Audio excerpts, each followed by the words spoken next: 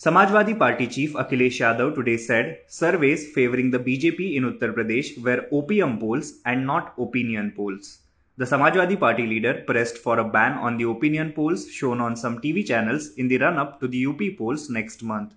These are not opinion polls, these are opium polls. I wonder what is the basis on which these polls are done. They are trying to mislead people, Akhilesh Yadav told NDTV in an interview. These people don't ask the BJP about inflation or unemployment. Their candidates are being chased out of their constituencies because of public anger. Their government events are poorly attended. They showed a Bengal flyover in Uttar Pradesh. So what are they showing in opinion polls? Mr. Yadav asked.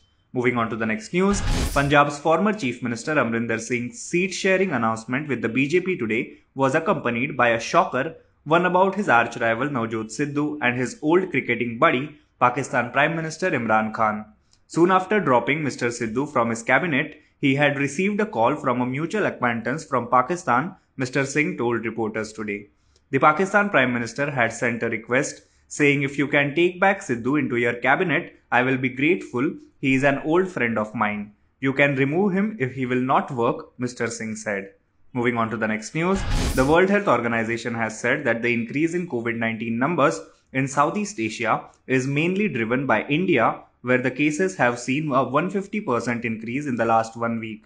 According to the WHO, India reported 15,94,160 new cases in the week that ended on January 23rd as compared to 6,38,872 cases it recorded the previous week. In the eastern Mediterranean region, the highest numbers of new cases were reported from Morocco 31,701 new cases against 4,610 last week with a 45% increase. Lebanon 45,231 new cases against 38,112 last week with a 19% increase and Tunisia 13,416 new cases against 3,948 last week with a 194% increase. Moving on to the next news. Punjab and Haryana High Court on Monday dismissed the anticipatory bail plea of Shiromani Akali Dal leader and former Punjab Minister Bikram Singh Majithia in the drugs case registered against him in Mohali on December 20.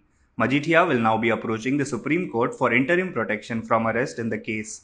Earlier in the day, the High Court bench of Justice Lisa Gill heard arguments from both sides and the order was reserved for the pronouncement at 4 pm. Though the detailed order is awaited, the pronouncement was made at 4 pm. Moving on to the next news, the Congress on Monday released a list of 30 star campaigners for the first phase of the forthcoming Uttar Pradesh Assembly election.